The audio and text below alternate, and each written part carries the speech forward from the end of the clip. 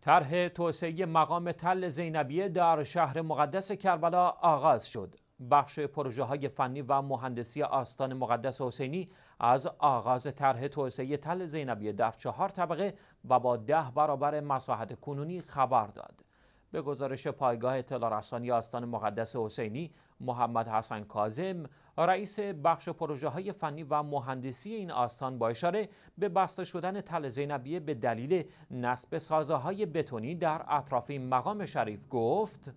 این دیوارها به عرض یک متر و عمق چهل متر ساخته شده تا از جریان آب به داخل پروژه های ساخت صحنه عقیله بنی هاشم علیه السلام جلوگیری کند. به افزود در حال حاضر به دلیل فقدان فضای کافی در تل زینبیه و برگزاری مراسم های زیارت و دعا در خیابان مکانی جدید برای تل زینبیه در نظر گرفته شده که قدری با مکان کنونی فاصله دارد.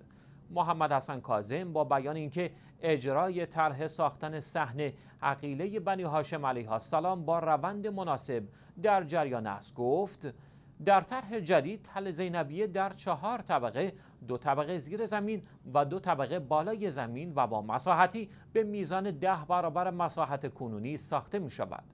وی با اشاره به وجود فضایی به مساحت 52 هزار متر مربع برای ساختن سازه های داخل صحن از ساختن مهمانسرا کتابخانه، موزه، بخش های درمانی، سرویس های بهداشتی، کفشداری و مقام تل زینبیه با استفاده از طرحهای جدید معماری خبر داد.